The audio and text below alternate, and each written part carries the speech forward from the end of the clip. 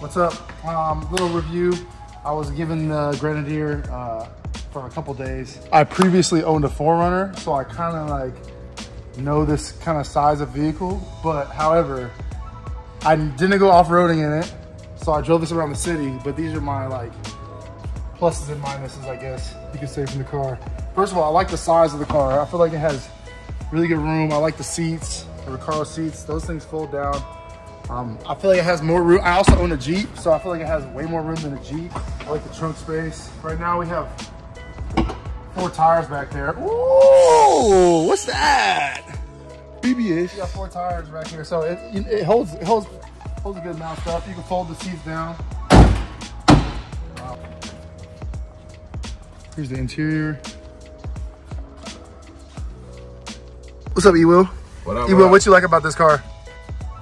Honestly do like the switches. It Yeah, the, the switches, it makes it very, look like uh, it's a military, huh? military. It's different, man. I like it. So uh, this controls the power in the back. Um, these control, I think, some off-road settings. You know, traction control, blah blah blah blah. Here's this. Here's the center console. Like I said, BMW transmission and engine, I believe.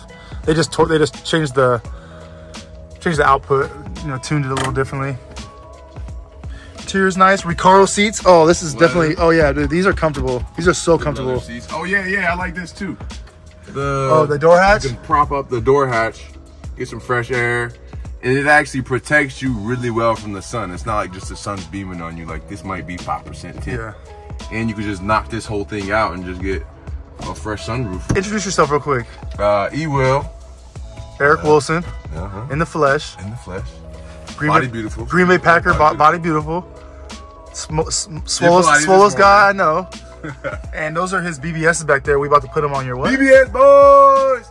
I got a 95 M3 for the low. I got it on an auction. now we building it up, baby. I feel like one thing I like about it is the engine. I feel like obviously it's the it's the Supra engine, the BMW, but I like it. I liked it in the Supra and I like it in this. I feel like once again compared to my 4Runner, it's a lot faster. Um, gives you more of that mm, that get up.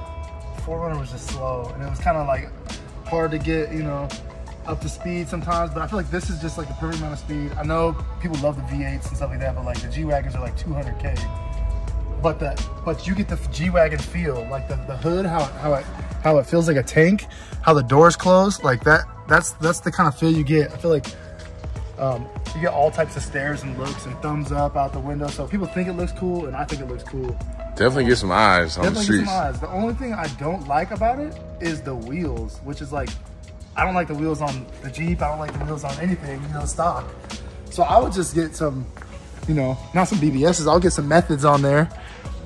And, BBSs? I mean, these are the these are great tires though. I had I had I had the Duelers on my 4Runner. They're a lot beefier, and I had a lift kit. So I feel like this car with a lift kit and some wheels would be sick. Yeah, it'd be sick, beastly. yeah, sick. It has better space like than a G wagon, but it's obviously not the same price.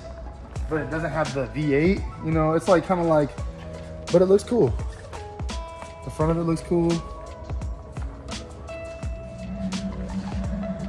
One of the things I really don't like about it is the steering. It's a little loose for me. It's made for off-roading. So I haven't taken it off-roading. You know, it's a little loose for city driving. I want it to be a little bit sportier, but I heard that you can get a part to make it a little bit crisper on the steering. Another thing I don't like is I like an analog speedometer. The speed, the speedometer is over here and it's digital. Um, it has Apple CarPlay, all that stuff. This is like the where the, the, the warning lights and stuff come up right here. I'd like to have a analog, you know, speed dial in front of me a little bit. You know, I like the digital too, but you know, a little bit of both, I would say. Overall, I've enjoyed driving it the last couple days. It looks cool.